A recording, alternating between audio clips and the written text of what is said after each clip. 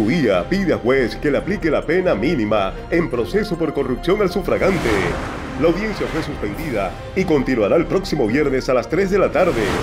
Lucy Vidal salió de la Dirección Seccional de Fiscalías a la Procuraduría General de la Nación. Falleció a los 87 años en Valledupar el empresario Antonio Toño Sadvini. Tres municipios del Cesar firmaron convenio para rehabilitación de vías terciarias. Vendedores del balneario Hurtado se quejan por falta de compradores. Alcaldía realizó jornada de limpieza en cementerio municipal de Chiriguaná. Los del sur se coronaron campeones del torneo de fútbol en la bombonera del barrio Sicarare. Reinaldo Tueda realizó primera convocatoria de la Selección Colombia para microciclo de trabajo. Somos RTA Noticias. Suscríbete a nuestro canal de YouTube. Hola, ¿qué tal? Buenas noches, bienvenidos a las informaciones aquí en RTA Noticias. Don Eduardo Iván, buenas noches. Buenas noches, Eduardo, un gusto estar aquí al lado de ustedes en el set principal de RTA Noticias. Saludo cordial a todos ustedes televidentes. Vamos de inmediato con el desarrollo informativo de hoy aquí en la pantalla de RTA Noticias. Y hay una noticia positiva para el departamento del Cesar, para los trabajadores de la justicia. La directora seccional de fiscalías Lucila Vidal Luques, conocida como Lucy Vidal, fue nombrada como directora nacional de investigaciones especiales de la Procuraduría General de la Nación. Muy buenas noches y bienvenidos. En menos de un año, Lucila Mercedes Vidal Luque, conocida como Lucy Vidal, ha dado dos saltos importantes en su vida profesional. En marzo de 2020, cuando apenas comenzaba la pandemia del coronavirus, llegó a la Dirección Seccional de Fiscalías del Cesar, tras un buen tiempo como fiscal. Este primero de febrero, 15 días después de llegar Margarita Cabello a la Procuraduría General de la Nación, Lucy Vidal es nombrada como Directora Nacional de Investigaciones Especiales de la Procuraduría General de la Nación. La posesión fue ante la misma Procuradora General Margarita Cabello Blanco. Vidal Luque, quien también se ha desempeñado como cantante de la música vallenata con el nombre de Lucy Vidal, nació en Valledupar, del hogar formado por Carlos Vidal Romero y Lucila Luque Soto. Como cantante grabó cuatro producciones musicales, Corazón Vallenato en 2007, Sin Palabras en 2008, Mejor que Siempre en 2011 y Vallenato y Cumbia en 2015. Es abogada con especializaciones en Derecho Probatorio y en Derecho Penal y Criminalística y con maestría en Derecho. Su primer trabajo tras graduarse como abogada fue de inspectora profesional en la alcaldía de Valledupar entre el 10 de septiembre de 1990 y el 26 de septiembre de 1991. Se ha desempeñado como docente de las universidades UDES Valledupar y Popular del Cesar y como fiscal delegada ante los jueces del circuito. Igualmente trabajó como fiscal en el Centro de Atención a Víctimas de Abuso Sexual, Caibas, en cuyo momento acusó a Juan David el Pollito Herrera por el acceso carnal en menor de 14 años, por lo que fue condenado a 13 años de prisión. En su nuevo cargo como directora nacional de investigaciones especiales de la Procuraduría, Vidal Luque tendrá que prestar apoyo a las diferentes dependencias de la PGN en la práctica de pruebas o en el análisis de las mismas, en el desarrollo de procesos disciplinarios, entre otras funciones. El próximo viernes continuará la audiencia en el proceso que se sigue en contra de Augusto Daniel Ramírez Ubía por el delito de corrupción al sufragante. El exalcalde de Valledupar, Augusto Daniel Ramírez Uía, pidió al juez quinto penal del circuito de Valledupar que le aplique la pena mínima de cuatro años en la condena que emitirá por el delito de corrupción al sufragante. Que al momento de estipular la pena, usted en su sabio entender, señor juez, pueda estipular la pena mínima de los cuatro años para que se cumplan los requisitos del subrogado penal y que se pueda suspender la ejecución de la pena. Ramírez Huía, quien estuvo presente en la audiencia de individualización de la pena en el proceso que se sigue en su contra por negociar votos con los habitantes de una invasión de la capital del Cesar en 2011, cuando era candidato a la alcaldía de Valledupar, pero perdió las elecciones con Freddy Socarrás, dijo que la solicitud la hace en nombre de la familia para que tenga en cuenta los argumentos presentados por la defensa, ya que no se encontró ninguna causal de agravante. Pediría, rogaría que se impusiera la pena mínima para que se cumplan los surrogados penales y se pueda suspender la ejecución de la pena y yo pueda seguir en libertad. El exmandatario municipal también solicitó que mientras transcurre el estudio en segunda instancia, el juez le permita seguir en libertad. Solicitaría que esa, ese tiempo que en su sabio entender la segunda instancia considere y se pronuncie, yo pueda eh, seguir gozando con mis derechos de libertad. Solicito eso de manera respetuosa en nombre de mi familia, eh, señor juez, que usted lo tenga en cuenta al momento de estipular la pena. El juez quinto penal del circuito de Valledupar, Andrés Palencia Fajardo, fijó para el viernes 5 de febrero a las 3 de la tarde la continuación de la audiencia para fijar el monto de la pena que le impondrá a Tutuía. Familiares del entrenador de fútbol Joandri Martínez, que perdió la vida el pasado 20 de febrero en esta capital, piden celeridad y claridad en estos hechos. Respecto a las dos capturas, cabe recalcar que simplemente ellos saben la verdad. A toda la ciudad, a nosotros nos han hecho creer que no, no culpa a la policía, pero yo creo que nadie tiene que ponerse a favor de los delincuentes. En este caso, las víctimas somos nosotros, porque a nosotros fue a quienes nos hicieron el daño hacen creer que fue un atraco. Si fue un atraco, yo digo, hay que concientizarnos, mentalizar esta parte. Si fue un atraco, porque a mi hermano no se le llevaron el celular, eh, no se le llevaron la moto. Si yo digo, si es atraco, porque una persona la tienen que, que seguir durante días, o sea, no entiendo. Y eso es algo que a nosotros nos ha lastimado. En mi caso, nadie sabe el trauma que mi familia ha tenido que vivir. En el caso de mi mamá, nadie lo sabe. Entonces, yo quisiera que realmente Andrea y Rafael, que son los dos capturados, dijeran la verdad. ¿Por qué no hablan? Tras de eso, hay otra persona que están libres y simplemente pagando ellos dos. ¿Y qué hay de los que están libres? Mi hermano está a punto de cumplir un año y solamente dos capturados. ¿Qué hay de la otra persona? De la otra persona que participó, de la otra persona que se ve en el video. ¿Qué hay de ellos? ¿Por qué no hablan? A Rafael tengo entendido que lo agarraron en mayo del año pasado en Aguachica. Se le hizo una audiencia. ¿Por qué no nos llamaron a nosotros? Nosotros somos su familia de Joandris Martínez Medina. O sea, una audiencia, sé que está retenido todavía, tengo entendido que se le vencieron los términos porque se vencen a los cinco meses. ¿Qué hay con ese tema? Ya está con nosotros aquí en la pantalla de RTA Noticias, Andrea Rodríguez. Muy buenas noches, Andrea. Waldo, muchas gracias. Muy buenas noches para usted y para todos los televidentes. Campesinos han denunciado la tala indiscriminada de árboles en el Cesar. Corpo Cesar ya atendió la denuncia. Los habitantes de la vereda Agua Bonita, cerca del batallón de alta montaña, jurisdicción de Codazzi, denunciaron el daño ambiental que inescrupulosos están provocando en ese sector por la tala indiscriminada de árboles. Los campesinos aseguran que los árboles están siendo cortados sin los respectivos permisos de Corpo Cesar por lo que pidieron más presencia de las autoridades para evitar que estas personas lleguen a hacerles algún tipo de daños, puesto que si continúan cortándolos van a sufrir mucho con los cambios ambientales. Ante esta situación, la jefe de la Oficina Jurídica de Corpo Cesar, Liliana Cadena, manifestó que la corporación realizará una visita y al tiempo aseguró que se tomarán medidas para mejorar las condiciones forestales de la zona. Verificaríamos de entrada si efectivamente existe o no permiso de, aprovechamiento forestal.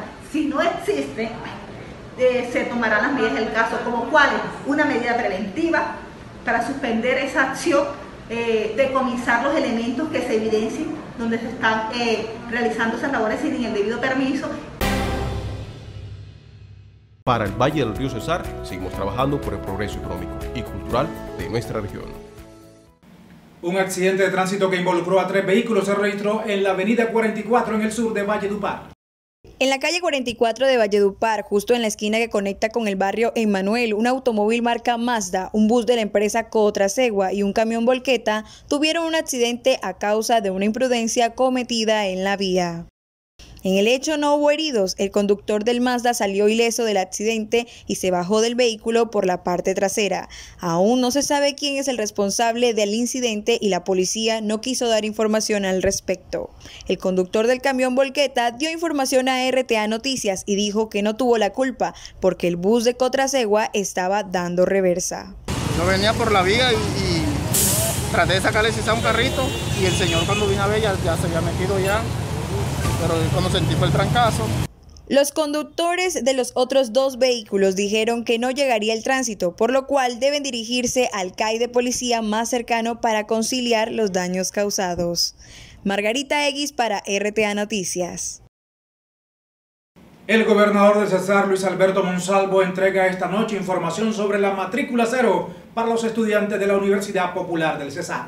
Cosas de la política. Con un evento académico, el exalcalde de Barranquilla, Alex Char, se estrena en su recorrido político por el departamento del Cesar. El exmandatario distrital con aspiración presidencial será uno de los conferencistas del foro Hablemos de Administración Pública y Desarrollo Urbano en el sur del Cesar, que organiza la Universidad Área Andina de Valledupar. Allí también serán conferencistas Helga Gutiérrez, rectora de Área Andina Valledupar, y María Teresa Hernández, directora de la Cámara de Comercio de Aguachica. Una verdadera disyuntiva política y sentimental es lo que tiene Eloy Chichi Quintero entre ceja y ceja frente a las próximas elecciones a Congreso de la República.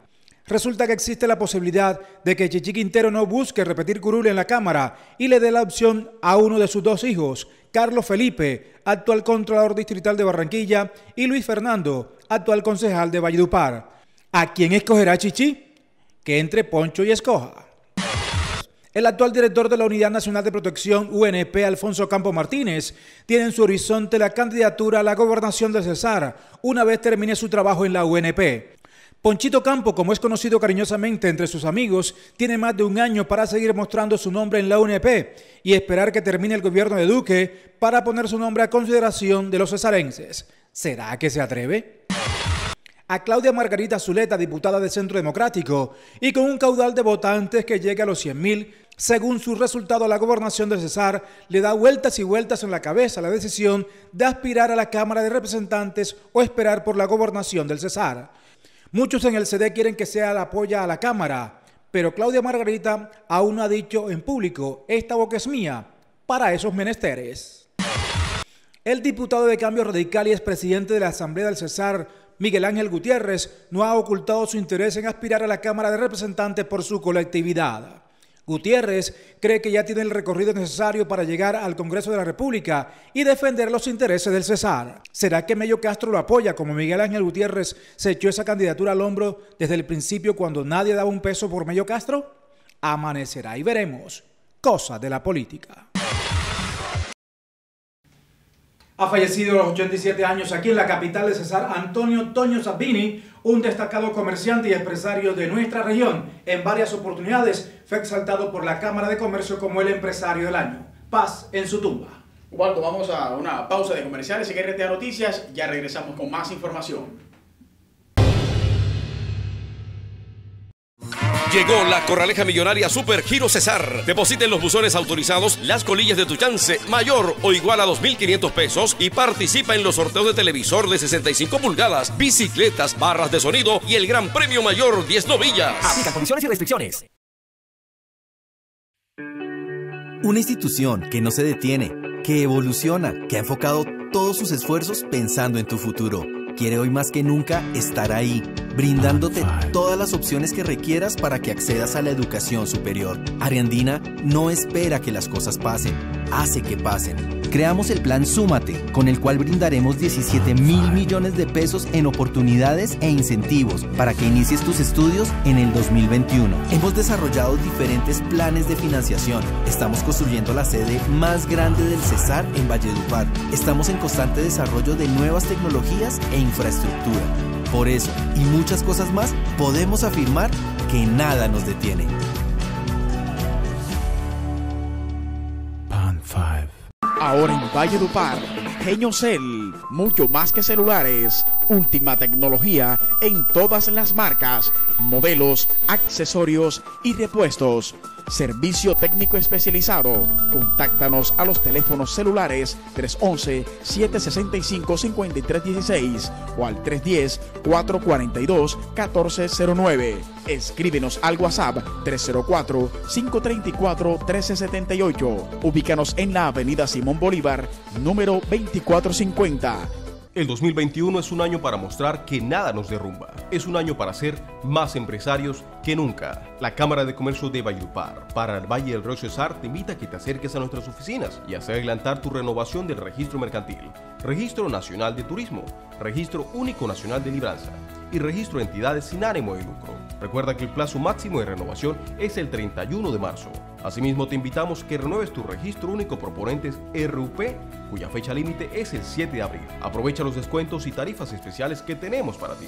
Recuerda que cumpliendo tus obligaciones mercantiles, apoyas a todo tu gremio empresarial. Entre todos, trabajamos por la reactivación económica responsable. en la Cámara de Comercio de Valledupar. Para el Valle del Río Cesar, seguimos trabajando por el progreso económico y cultural de nuestra región. Las tortas de mami, las mejores tortas de Valledupar, porque las preparamos con todo el amor de mami. Con solo probarlas, hace que te enamores para siempre. Contamos con un personal altamente calificado, aplicamos todos los protocolos de bioseguridad, transporte rápido y exclusivo. En Tortas Mami, te endulzamos la vida, cada vez más cerca, más cerca de ti. Constructora Carvajal y Soto entregará próximamente las dos primeras torres del moderno edificio Las Cayenas, ubicado en la zona de mayor desarrollo urbanístico de la ciudad. Las Cayenas, un edificio progresivamente inteligente, con cuatro torres, amplios espacios y acabados espectaculares. Te mereces lo mejor. Te mereces vivir en Las Camelias, el nuevo proyecto urbanístico de Carvajal y Soto 33 espectaculares apartamentos para vivir bien. Otro proyecto exitoso de constructora Carvajal y Soto. Clínica Erasmo. Somos pioneros en servicios especializados en traumatología en toda la región. Asistencia con la más alta tecnología. Unidad de cuidados intensivos polivalente urgencias 24 horas, hospitalización, ortopedia y traumatología, cirugía plástica reconstructiva, imagenología 24 horas. Pregunte por nuestro programa Cliente Fiel. Clínica Erasmo. Cada paciente es diferente. Nuestra clínica también. Seguimos con más información en esta edición de RTA Noticias. Habitantes eh, del barrio Buenavista y Don Alberto en esta capital piden a los carromuleros no depositen basuras en lotes aledaños a este sector de la capital del Cesar. La inconsciencia de algunas personas que han tomado la vía detrás del batallón de artillería número 2 La Popa y frente a la invasión brisas de La Popa para quemar los desechos que a diario lanzan en el sector está generando un grave problema ambiental en el barrio Don Alberto, conjunto cerrado Alta Vista y demás barrios aledaños en Valledupar. Pues tenemos la problemática ya del basurero que se encuentra diagonal al barrio Brisas de La Popa que ahora eh, lo prenden a todo momento y tenemos que sufrir de todo este humo que como se dan cuenta corre hacia el barrio Don Alberto. Una espesa nube de humo cubre el área mientras niños y ancianos sufren enfermedades respiratorias y no se consigue la manera de poner freno a esta situación. Aquí me encuentro ubicado en el basurero. Vinieron a recoger la basura y la dejaron precisamente aquí toda prendida en lugar de de apagarla. Los habitantes afectados manifiestan que desde hace muchos años están enfrentando este problema, pero en las últimas semanas se ha agravado por las fuertes brisas que impiden que el fuego se apague. Toda la basura y todo el humo que corre hacia allá. Aquí, bar, la popa, basurero que sale todo del barrio Brisas de la Popa. Ante esta situación, la comunidad hace un llamado a los organismos de control para que tomen cartas en el asunto y traten de solucionar este problema de salud pública. Los incendios forestales han dejado más de 800 hectáreas de pastos quemadas en lo que va transcurrido del año en el departamento del Cesar. Más de 50 incendios forestales se han registrado en lo que va del año en el departamento del Cesar, según el reporte de Carlos Daza, coordinador departamental de la Oficina de Gestión del Riesgo de Desastres. Tenemos un total de 57 incendios, 44 de ellos considerables y 13 con actos o incendios menores. DASA asegura que ya son 805 hectáreas afectadas en todo el departamento. 805 hectáreas afectadas de cobertura vegetal, bien sea de pastos, la mayoría de estos incendios no tuvieron afectación eh, en viviendas, unos pocos solamente, no hubo pérdida de vidas humanas. El Paso en el corredor minero es el municipio que más incendios forestales ha reportado este año, según Carlos Daza. Ahí lo acompaña Las Aguas, Astrea, en la zona norte tenemos el municipio de Valledupar y hacia el sur del departamento tenemos Aguachica con siete incendios forestales reportados y al igual que San Martín con también siete incendios forestales reportados. El funcionario recomendó a la ciudadanía y a las autoridades locales evitar realizar quemas de pastos, no tirar colillas de cigarrillo en lotes o fincas, hacer las guardarrayas a las cercas en las fincas y evitar las quemas para preparar la tierra con el objeto de realizar los cultivos. RTA Noticias realizó un recorrido por el centro de Valledupar y encontró una tapa de registro recién instalada que ya fue robada por desconocidos. Margarita X nos cuenta todos los detalles. Este es el Hostal Buenos Aires, queda ubicado en la carrera séptima número 1460 y este hueco ha evitado que las personas transiten por este lugar tranquilamente. Además, los dueños de este hostal comentaron a RTA Noticias que luego de ver esquiñada el miércoles la tapa de este hueco, llamaron al ingeniero del CIBA que está a cargo de esta obra y fue el viernes pasado que pudieron colocar esta señalización. Otras personas cuentan que el vigilante de la Universidad Santander, que queda en la misma calle, logró darse cuenta en las cámaras de seguridad que fueron dos personas las que presuntamente arrancaron esa tapa para quitarle las varillas que tienen adentro. Dicen los habitantes del sector que así comienza una esquiñada y luego arrancan la tapa. Es una nueva forma de delincuencia que para ellos es preocupante. Margarita Eguis para RTA Noticias. Aquí tenemos otras informaciones en esta emisión de RTA Noticias.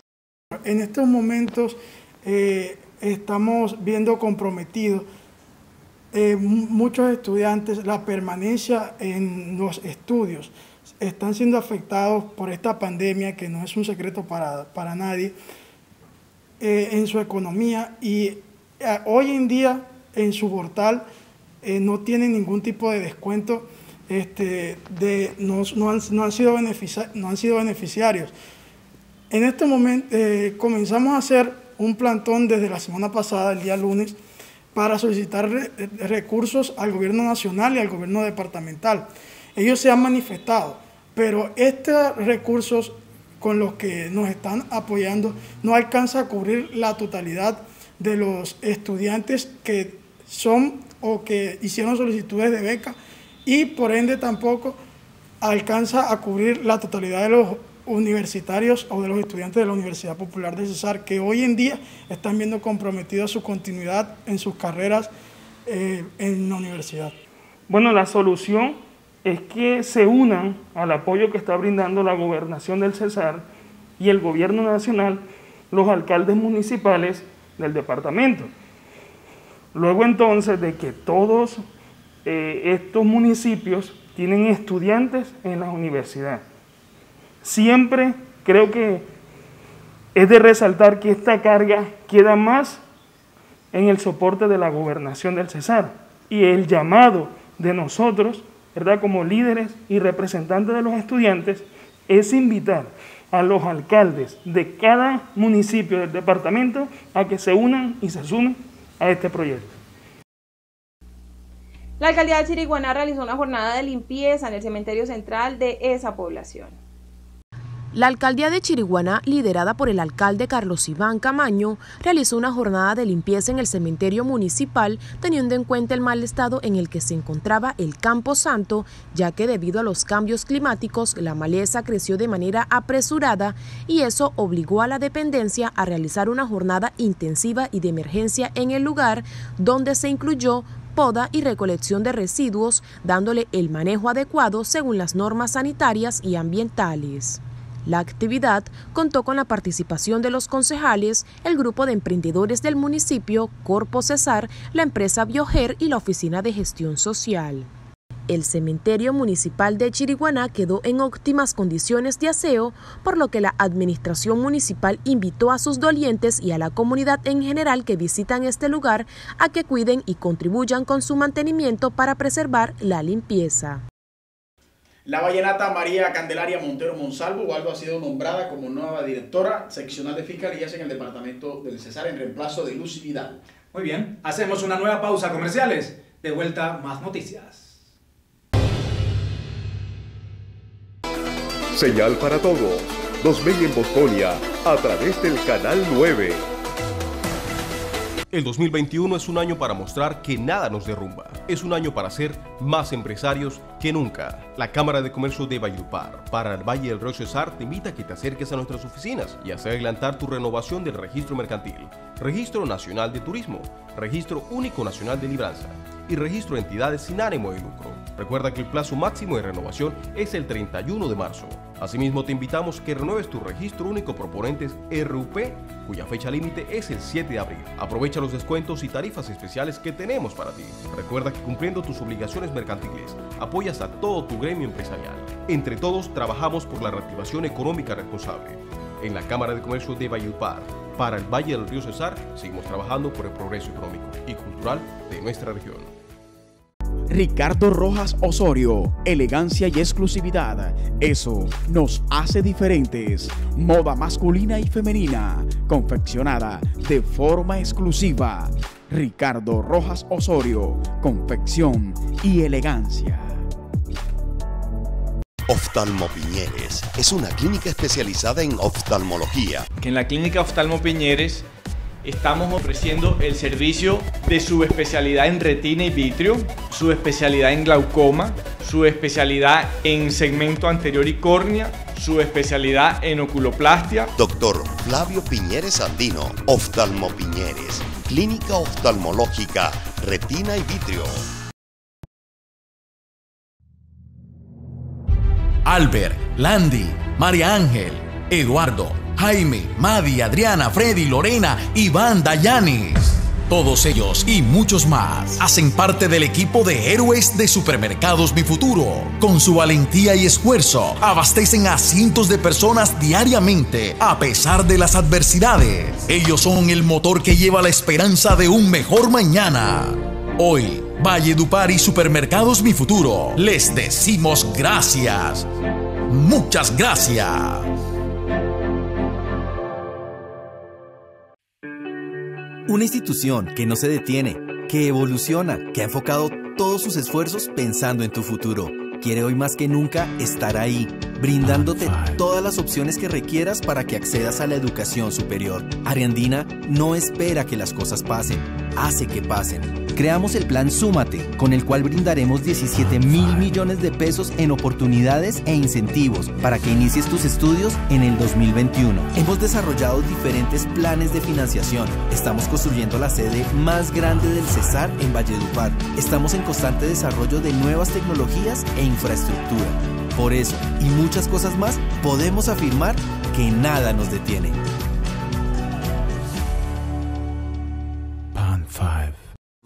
Llegó la Corraleja Millonaria Super Giro Cesar. Depositen los buzones autorizados las colillas de tu chance mayor o igual a 2.500 pesos y participa en los sorteos de televisor de 65 pulgadas, bicicletas, barras de sonido y el gran premio mayor 10 novillas. Aplica condiciones y restricciones. Hoy realizamos un recorrido por el río Guatapurí en el balneario Hurtado para conocer cómo está la situación con los vendedores en ese lugar de la ciudad. Estamos aquí en el río Guatapurí, detrás del parque. Y en estos momentos vamos a entrevistar a las vendedores, a las vendedoras que hoy salieron a trabajar y vieron este río tan solo y vamos a ver cómo les está yendo. Señorita, ¿usted qué vende? Bebidas heladas. ¿Y cómo le está yendo hoy? Mal. Hoy no hemos vendido nada porque está totalmente solo el río. ¿Antes cómo les iba antes de la pandemia? Mejor. Mejor. Uh sí vendíamos. Siempre venían, venían a almorzar, eh, tomaban la gaseosa, tomaban la cerveza o, o traían su almuerzo y, nos alquilaban la silla. Pero de algún lado a otro nos entraba el ingreso. Señor, ¿usted qué vende? Cervezas aquí en la orilla del río Guadalupe. ¿Y cómo le va en un día como hoy, martes? Malísimo, como se puede observar en este momento, esto está desolado. Y el día que llega el flujo de gente, la policía la sostiene allá adelante y las personas no bajan hacia acá. Hola, ¿cómo estás? Hola, mucho gusto, soy José Carrillo, yo vendo butifarra. Hoy martes la cosa estaba un poco pesadita por la cosa del COVID, no ha entrado mucha gente, pero gracias a Dios he vendido algo y espero venderlas todas hoy. Este es el panorama que se vive en el río Guatapurí. Como pueden ver ustedes, estás totalmente solo y el domingo, que es el día que pueden vender estas personas, cierran el río. Margarita X para RTA Noticias. Los del sur se coronaron campeones en el torneo de fútbol que se realizó en la popular bombonera del barrio Sicarare. Culminó el torneo de fútbol que se desarrolló en el barrio Sicarare, en la mítica cancha La Bombonera. Los del sur y el equipo azul se enfrentaron en la gran final, dejando como resultado un apretado marcador dos goles por uno a favor de los del sur. No, y contento por quedar campeón en un torneo importante como lo es en Valledupar. El exjugador del Valledupar Fútbol Club y Deportes Tolima, Isaac Arias Villamil, fue la figura del encuentro tras anotar el tanto de la victoria. Y la verdad le ganamos a un gran rival y todos remamos hacia el mismo lado y sacamos el resultado adelante. El certamen donde participaron 16 equipos fue organizado por Gabriel El Furo Guardias. Este fue un torneo relámpago, retamoso como piloto para educar a la gente con su tapabocas, 0.20 de licor, que el público esté distanciado. Como tú pudiste ver, todos tienen su tapabocas. El tercer puesto del campeonato fue para Calzado Anabel y el cuarto lugar para Gremio Valledupar. El entrenador de la selección Colombia, Reinaldo Rueda, ha pues, seleccionado a algunos jugadores del plano local para trabajar un microciclo en Barranquilla. El cuerpo técnico de la selección Colombia masculina de mayores, liderado por Reinaldo Rueda, anunció que realizará su primer microciclo de trabajo en la sede deportiva de la Federación Colombiana de Fútbol en Barranquilla, del 8 al 11 de febrero de 2021. Para dicho microciclo, el director técnico vallecaucano ha convocado jugadores que están actuando en la Liga Betplay de Mayor 2021. En la lista figuran nombres como Miguel Ángel Borja, Gabriel Fuentes, Rafael Carrascal, Aldair Quintana, José Luis Chunga, entre otros jugadores del fútbol profesional colombiano. Los equipos del rentado nacional que más aportarán futbolistas al combinado patrio en este ciclo de trabajo serán Junior de Barranquilla con 5, América 5 y de Millonarios llamaron a cuatro jugadores. La selección Colombia de mayores iniciará las eliminatorias suramericanas enfrentando a Brasil en Barranquilla el próximo 25 de marzo. En la segunda fecha visitará a Paraguay el 30 del mismo mes. Hemos terminado esta misión de RTA Noticias. Eduardo Iván, muchas gracias por estar aquí con nosotros. Un gusto siempre, Waldo, estar a su lado, estar acompañando a todos los televidentes de RTA Noticias. Muchísimas gracias y buenas noches. Muy buenas noches para todos.